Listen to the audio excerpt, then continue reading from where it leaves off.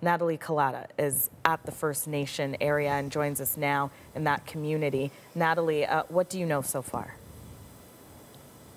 Well, what we can tell you is this was, as you said, it's supposed to be a very peaceful day, a day of a celebration of sorts. There was a group of about 200 individuals who were walking uh, down the road towards the camp here, hoping to once again reclaim it, to walk in and to return back home, as they have said after many years of fighting to get this land claim.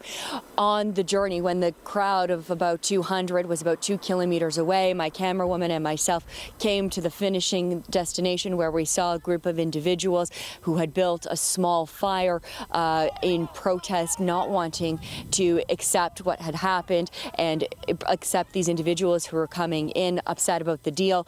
We talked to them about that.